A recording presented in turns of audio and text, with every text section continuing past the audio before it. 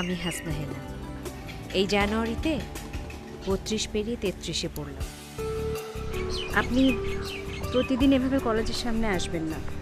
যদি কেউ দেখে ফেলে?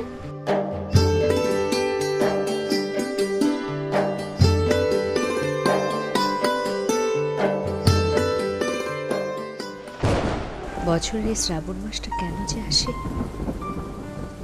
এই শ্রাবণ মাস জীবনটা মনটা লড্ড ভন্ড করে দিয়েছে। হৃদয় আমার নাচে রে আজকে ময়ূর